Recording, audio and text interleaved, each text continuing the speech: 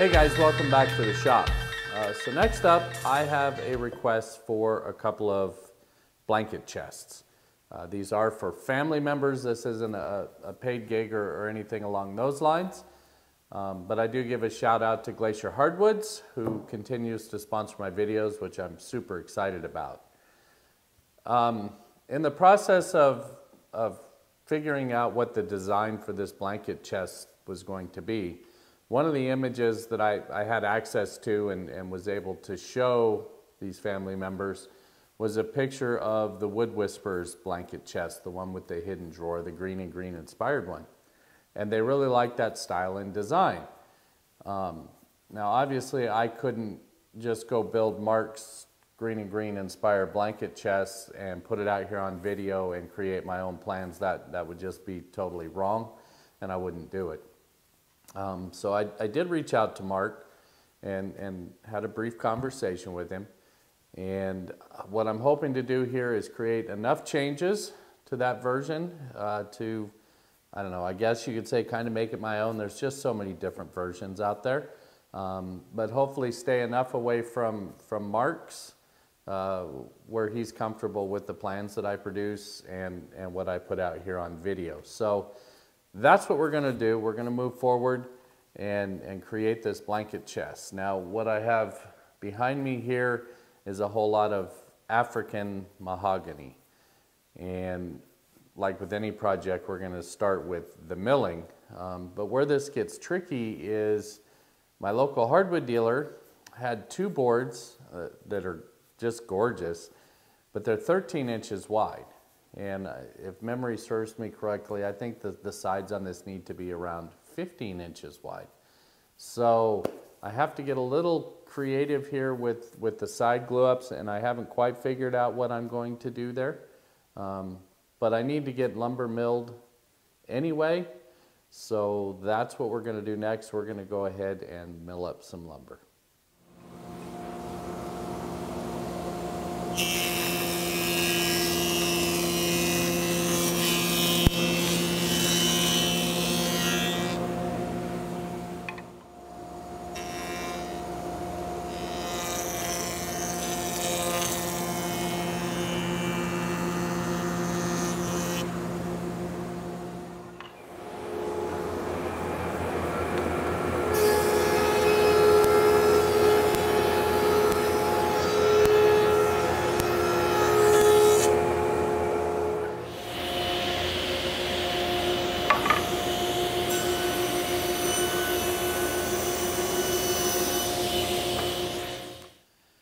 Okay, now I got all the parts cut and milled. Uh, they're still rough length.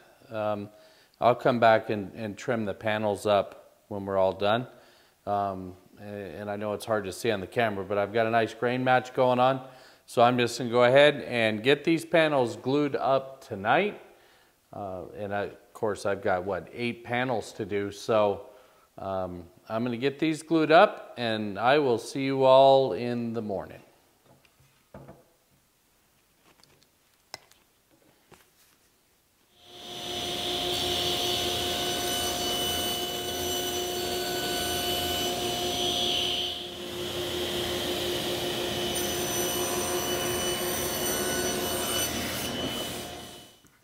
So now that we got the lumber all milled, it's time to lay out and cut the finger joints. And I built this little sled. Uh, it's certainly nothing fancy. I'll take a couple of still pictures of it here and, and show you. Um, but it's really nothing fancy, pretty much just a, a small sled for the dado stack. Um, and I went ahead and laid out what I wanted for the finger joints and did a test cut um, and I'm actually pretty happy with the way that those go together. Uh, and then I adjusted the blade height for my actual material. Um, and I'll be looking for, oh, I don't know, maybe an eighth, maybe eighth heavy, uh, the fingers to protrude. So we round those off, it, will look nice. Um, and on these sample pieces, I've also marked everything top, and, and of course this is out. So that will orient on my pieces as well. These are exactly the same width as my, my actual pieces.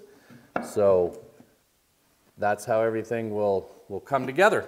Let me uh, turn the camera off for a minute and, and get the pieces actually posi- positioned in the jig, and uh, we'll start making some joinery on these case sides.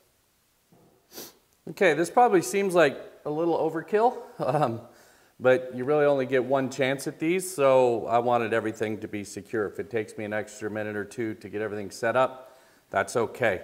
Um, this is why I put the, the tall fence on this sled, was so I had good places to clamp to. Um, I used my, my jig, or my uh, template, if you will, to line up and make sure everything was spot on. So I will make, I'll make this first cut, and then I'll set it up to make the second cut, and then I'll, I'll hog out the middle afterwards. And I'll continue to use the jig, setting it up as we go along. So now it's just a matter of, of pushing these through.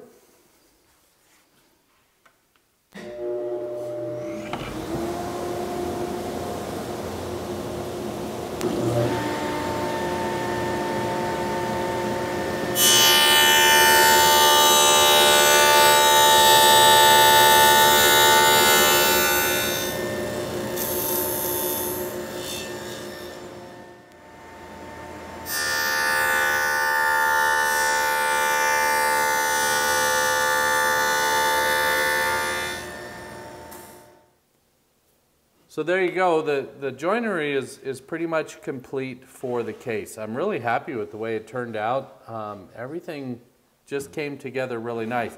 Now I threw a bunch of clamps in here um, just to make sure that I didn't have any touch-up stuff that needed to be done and all my gaps actually closed up really nicely. Um, so next up is grooving for the bottom panel. Um, and obviously I'll, I'll, pull all this apart and, and that's what we're going to do next. The other blanket chest is, is back here behind me and it's in exactly uh, the, the same place as this one is. So grooving for those bottom panels is what's next. Okay, so for the grooves in the bottom, I'm coming in uh, about an inch uh, and I've stopped on an inch. And I went ahead and, and, and plunged this ahead of time. So I have natural stop and start points, which frankly just makes it easier with this router um, because with the dust collection on it, it, it just gets hard to see. I am going to do this in two passes and the side panels, they just go all the way through. So those aren't a big deal. But the long panels have a start and stop point on them. And that's what we're going to do now.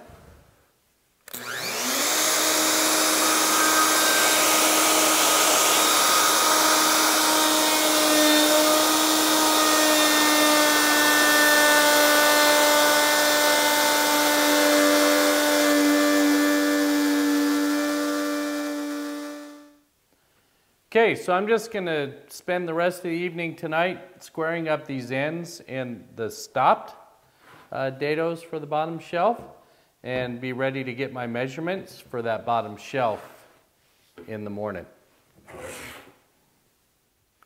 So next up, all of these fingers get a pillowing effect or a roundover. So I've just set up my trim router uh, with a little eighth inch roundover bit and I'll, I'll give, get all the bulk of it off and then I'll, I'll hand sand to get the final look I want.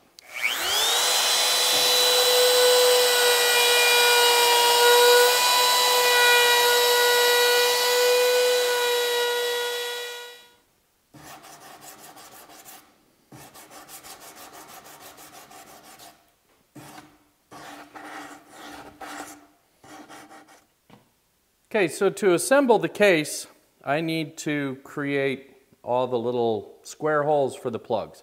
So that's where the hollow chisel mortiser is going to come in handy for me. Um, I, I kept my templates that I used to make all of those fingers um, located where the, where the holes go. And I'm just going to use my templates on each one uh, to locate those. So just making a couple of square holes here with the hollow chisel mortiser.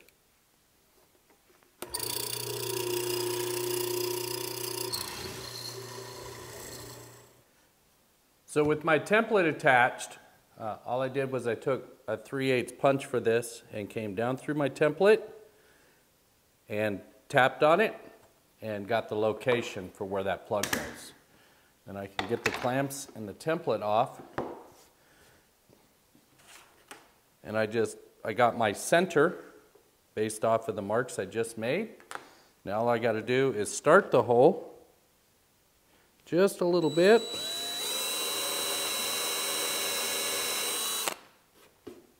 Just deep enough for the plug.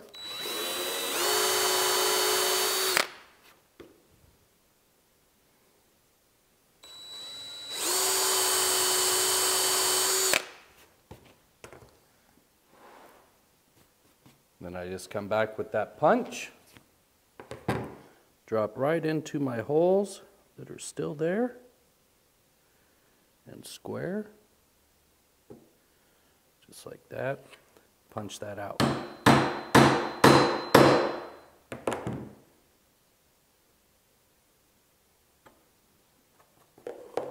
And then I just come back and clean that up with a chisel.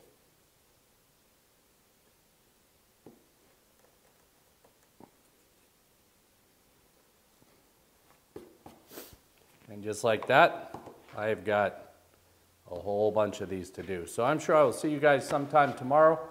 I'll spend the rest of today uh, getting all these, these spots ready for plugs. The other thing about uh, using the brad point bit is it gives me the center for my pilot hole uh, as well. So uh, that'll make everything come together just a little bit easier. Next up, I did a dry fit so that I could get actual measurements for what I needed for a floor. Uh, and my local hardwood dealer, Glacier Hardwoods, had some aromatic cedar on hand.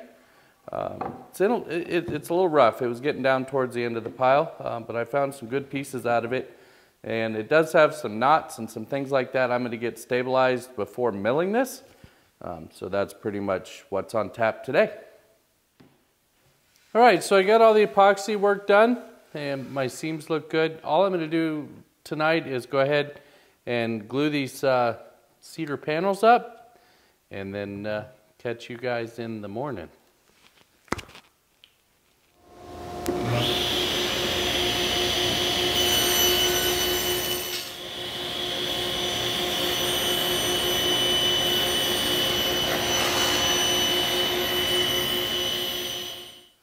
Okay, so there's the basic box done. Um, I'm going to uh, assemble this off camera. You guys have, have seen that before. Uh, for the screw holes, I am going to oversize each one of those screw holes uh, and then a, a normal pilot uh, on the where the threads go into the other panel. So it will have room for movement. Um, that's going to wrap it up for this video, guys. Uh, when we come back, these will all be assembled and we'll either start the lids next or the base next, I'm not sure, but I want to try to wrap it all up in one video if I can. So uh, it will be a busy video. So until next time, guys, take care.